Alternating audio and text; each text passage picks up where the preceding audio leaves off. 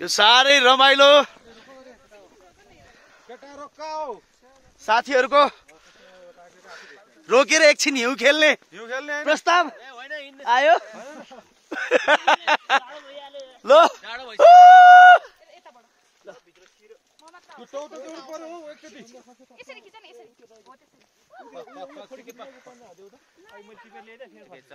ल यता हेरौँ त। किरण सर। यता।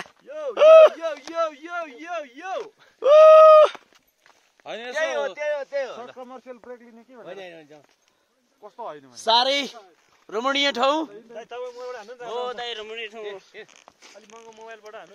ल।